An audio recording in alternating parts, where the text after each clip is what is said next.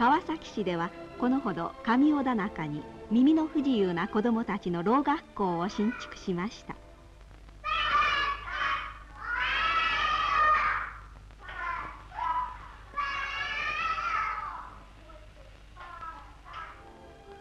新校舎は鉄筋コンクリート3階建て延べ404坪でその充実した施設は日本一を誇るものです。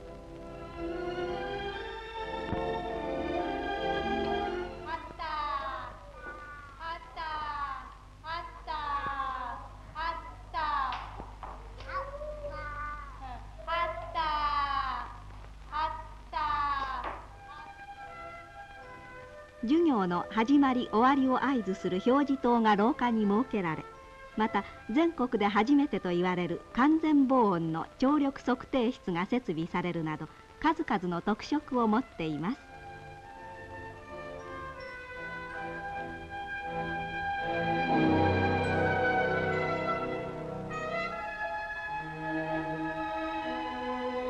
現在4歳の幼稚部から中等部まで86名の生徒たちが勉強に勤しんでいますが明るい校舎の中で毎日を楽しげに過ごしています。